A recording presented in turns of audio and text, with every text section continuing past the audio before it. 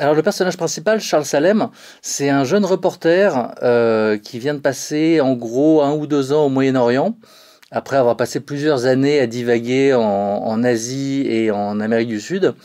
Euh, mais le Moyen-Orient, si vous voulez, il a, euh, il a l'expression anglaise, encore une fois, est plus appropriée. Il a, il a pris un morceau trop gros, si vous voulez. Il s'est retrouvé dans, au moment du printemps arabe, et en fait, ce qu'il voulait couvrir de manifestations, il s'est retrouvé à couvrir des vraies guerres. Et ça l'a absolument traumatisé. Donc il est complètement hanté par euh, la Syrie, la Libye, euh, l'Irak, euh, et, ces endroits-là où il s'est passé des choses absolument horribles.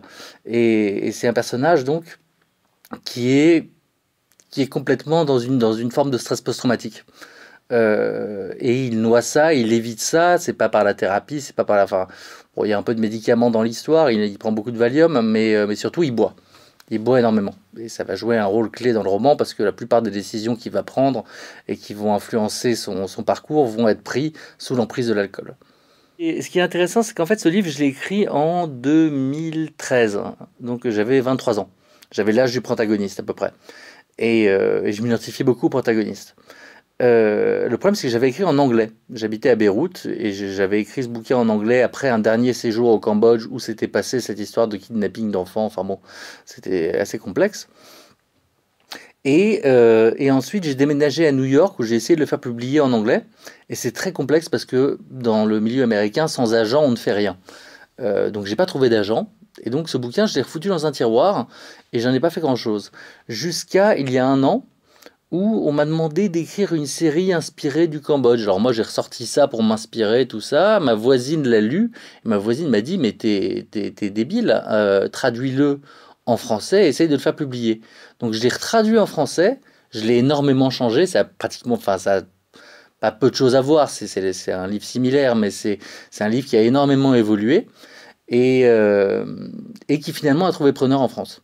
Je suis un grand fan de, de, l'écriture d'Hunter S. Thompson, c'est-à-dire que j'adore ses romans, et principalement Rome Express, qui est son premier roman qu'il a écrit à 23 ans.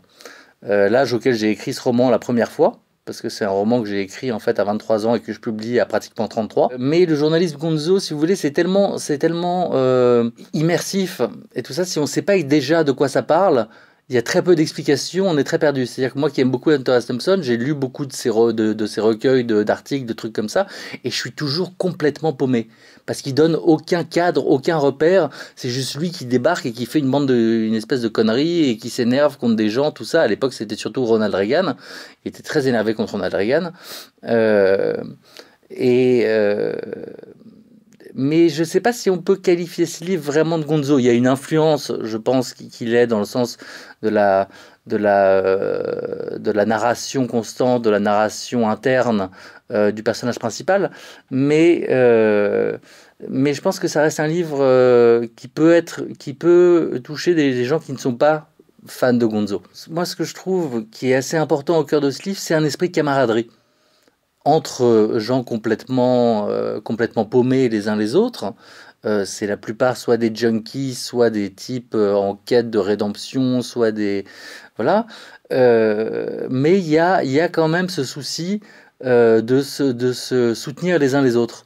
Et c'est très présent dans le roman. Je pense que ce sera, ce sera reconnu. Enfin, les gens qui le liront, j'espère, sentiront cet aspect.